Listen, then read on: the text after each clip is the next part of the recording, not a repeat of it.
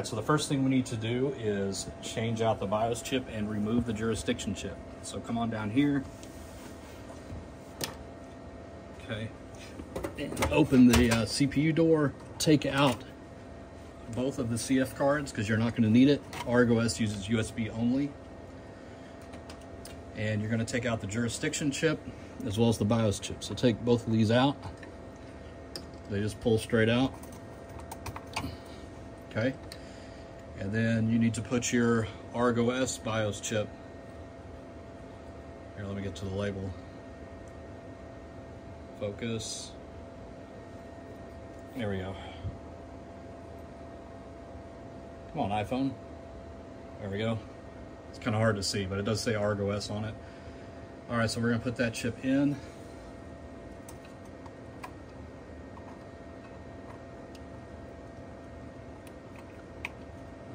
Hard to see. I've got a shadow with this light here, so let me move it over here. Okay.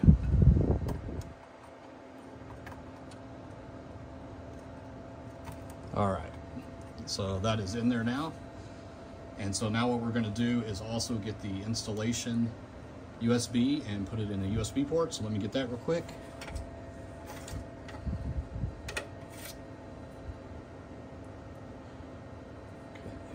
Just trying to find the right one here. Hang tight for a second. All right, so this is the one we're looking for here.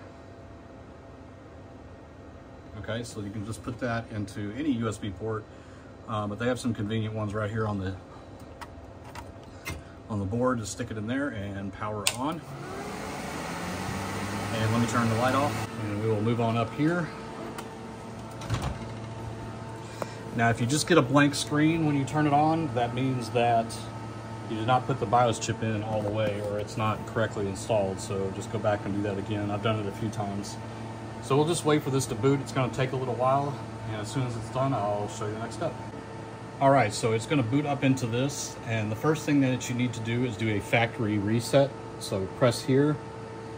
Do you want to proceed? Yes. And that will do a format.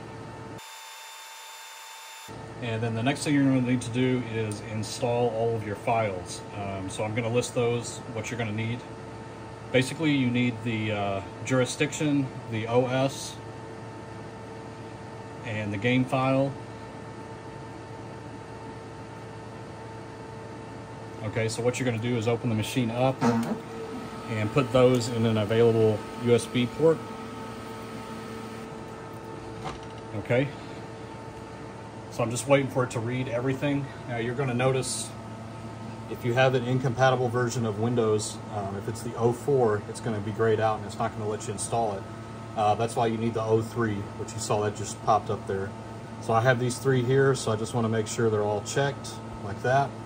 And then click install.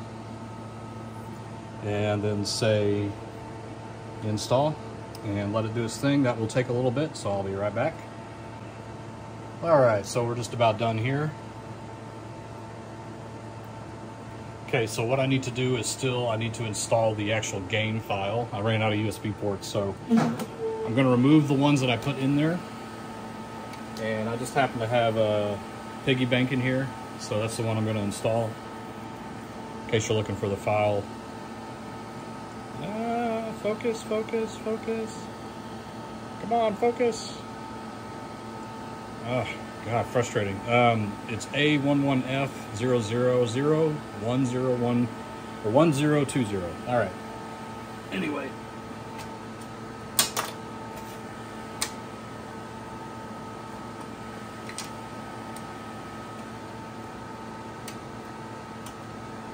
Okay, I put that in there and we just need to give it a second to uh, read the new USB I put in there and it will show up here so you can see the game here. So we're going to install.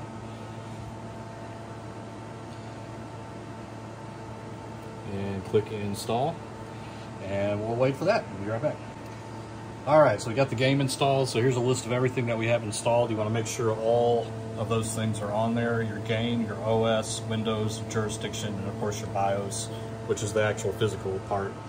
So what we're going to do now is go ahead and power off the machine. And we're going to have to do a couple things here. So let me power off the machine. first thing, let me take out all the software USBs. And also the uh, boot USB, which is the uh, installation utility.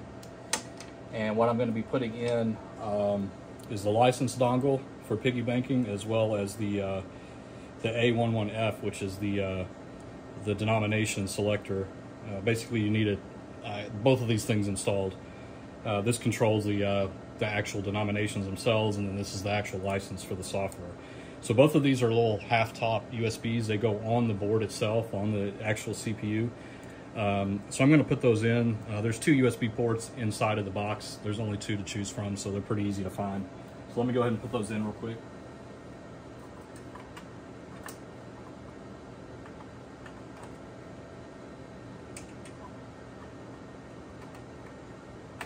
Okay, both of those are in. Okay, so the next thing is if you're going to be running a Lock-It Link game, you're going to need a switch. Um, it's not going to be plugged in to any network or anything. It's kind of basically a private network, but you're going to need one anyway. Uh, so just buy, this is a TP-Link uh, model number. Let's see, my eyes aren't too good. TLSF100, uh, I think it's a 5D. Anyway, I'll put it up on the screen here so you can see it. So you need to put uh, one of these in the machine. Um, there should be an available plug right here that you can plug it into. Uh, otherwise, you're going to have to run a plug out, uh, out to a box here to power the actual switch. Now the under end, other end of this, you need a cable that just goes to any of the ports here. Um, and this cable goes into the top of the CPU box. Now you might find a USB port on the actual back plane. You do not want to plug it in there. That's for the reel controller uh, you want to put it into the actual CPU itself. So let me run this down here and plug that in. And while I'm down here, I'm going to also plug in my ticket in, ticket out, so it can get power.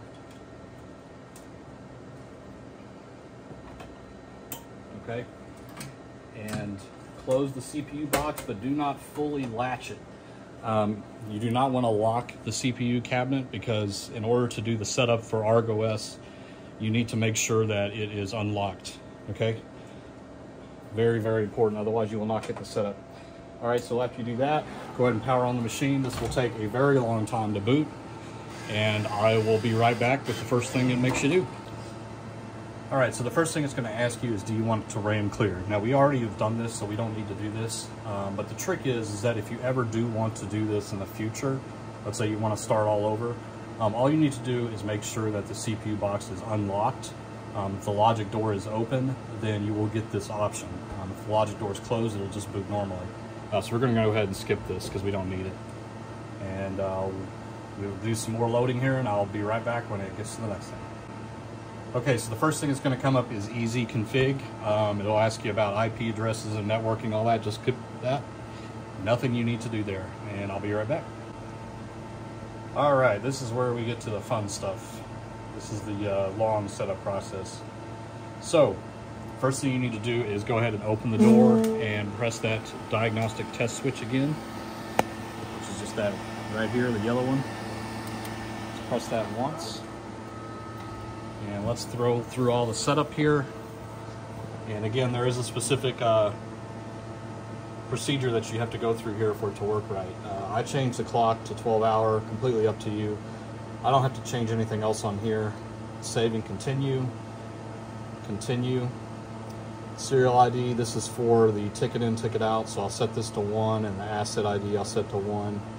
Uh, don't change anything there. Save and continue. Nothing here, continue.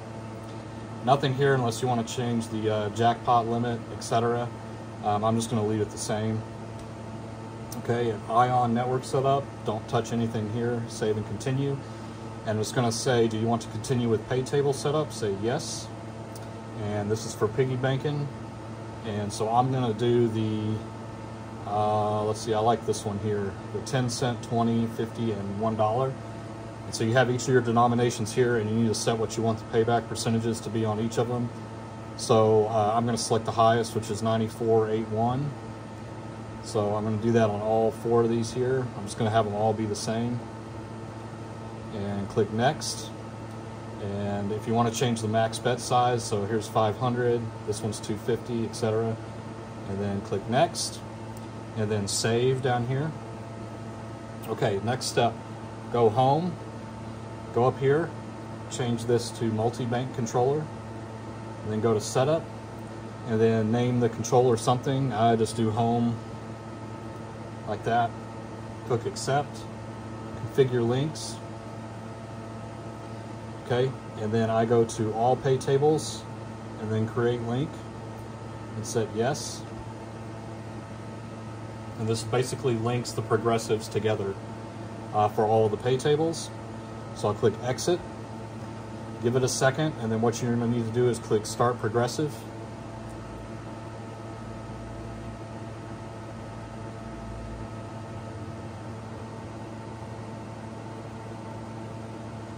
Okay, then just click OK, and then go home, and then go to EGM mode, go back to setup, and the first thing we're going to go to protocol setup, SAS primary. This is for the ticket in, ticket out. So validation type is system, save and continue. And we're going to do it for voucher in, voucher out, and bonus.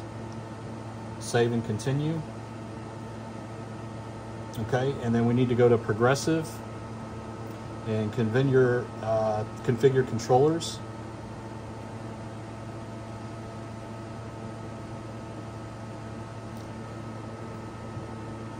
Oh, I need to go here first. So my mistake. So configure progressive combos first. These should all say MMLNAP uh, for local area. Uh, make sure they all set like that and then click save down at the bottom and then say yes. Okay, now you can click exit and go to configure controllers, MMLNAP, and home should be in here. If it is not showing up in there, make sure that that network cable is plugged into the top of the CPU box. Then click Save and uh, click Home. And then I like to lower the sound, so I put the alarm down here and then I put the sound a little bit lower as well. And that's all you need to do. So you need to close the logic box, so make sure the switch is closed. And uh, we will exit this, and I will do that real quick. And then close the door. And we are good to go. We have converted over to ArgOS for Lock It Link.